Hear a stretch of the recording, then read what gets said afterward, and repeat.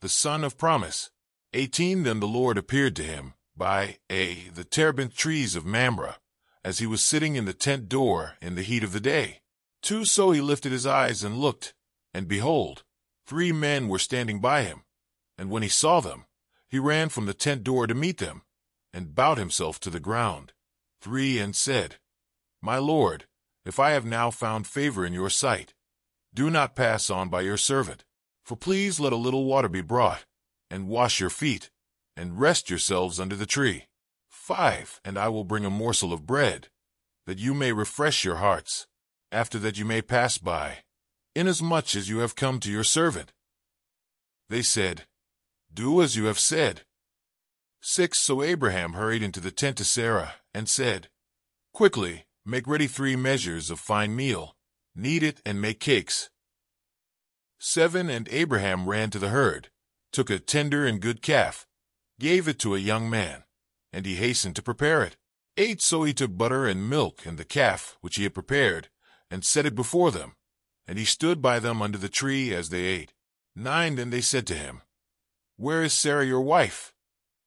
So he said, Here in the tent.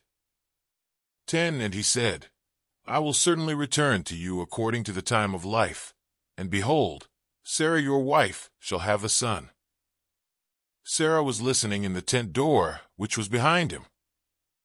11. Now Abraham and Sarah were old, well advanced in age, and B. Sarah had passed the age of childbearing. 12. Therefore Sarah laughed within herself, saying, After I have grown old, shall I have pleasure, my Lord being old also? 13. And the Lord said to Abraham, Why did Sarah laugh, saying, Shall I surely bear a child, since I am old? 14. Is anything too hard for the Lord? At the appointed time I will return to you, according to the time of life, and Sarah shall have a son. 15. But Sarah denied it, saying, I did not laugh, for she was afraid. And he said, No, but you did laugh. Abraham intercedes for Sodom.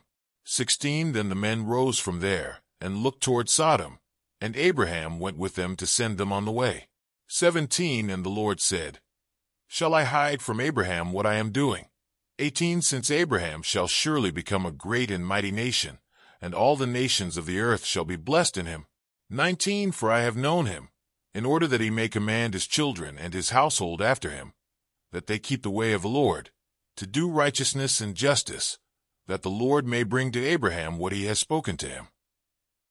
20. And the Lord said, because the outcry against Sodom and Gomorrah is great, and because their sin is very grave.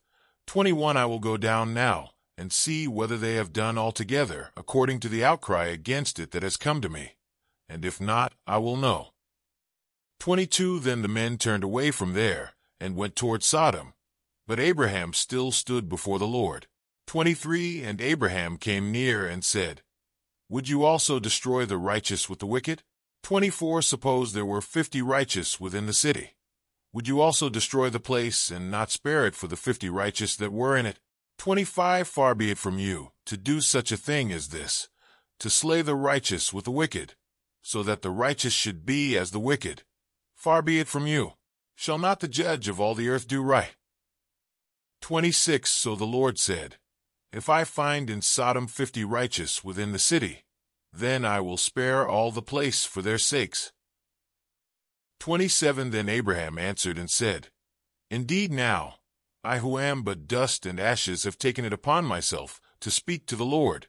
28 Suppose there were five less than the fifty righteous. Would you destroy all of the city for lack of five? So he said, If I find there forty-five, I will not destroy it. 29 And he spoke to him yet again and said, Suppose there should be forty found there? So he said, I will not do it for the sake of forty. Thirty then he said, Let not the Lord be angry, and I will speak. Suppose thirty should be found there? So he said, I will not do it if I find thirty there. Thirty-one, and he said, Indeed now, I have taken it upon myself to speak to the Lord. Suppose twenty should be found there? So he said, I will not destroy it for the sake of twenty. Thirty-two then he said, Let not the Lord be angry, and I will speak but once more. Suppose ten should be found there? And he said, I will not destroy it for the sake of ten.